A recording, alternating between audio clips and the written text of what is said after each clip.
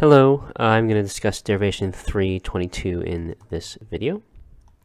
Okay, so we have uh, the conclusion is sum x, fx, if and only if p. So we'll make an indirect assumption in Qn.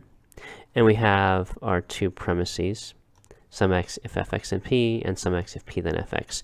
I'm going to go ahead and instantiate these right away, just on these lines.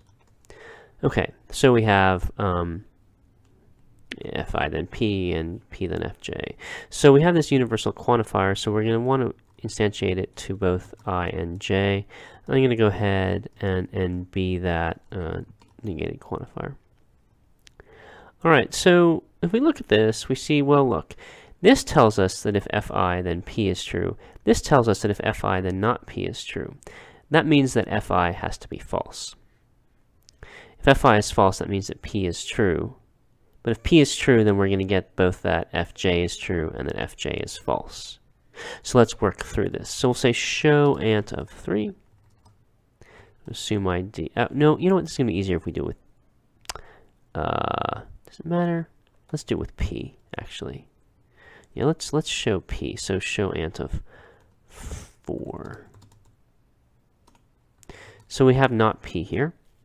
So what can we do with not p?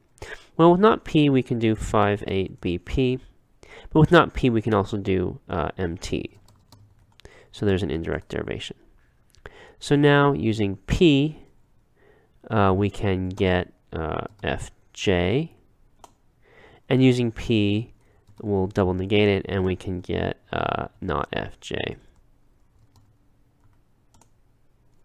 Let's see. So we want 13. Oh, did wrong double negation to the wrong thing. We want double negation of p, and now 6 and 13 bp, and we have a contradiction. So there it is. Um, as long as you're sure to instantiate this universal to both i and j, you're good to go because you have both of these and they will interact with those, and that's what you need. Okay, so that's 22.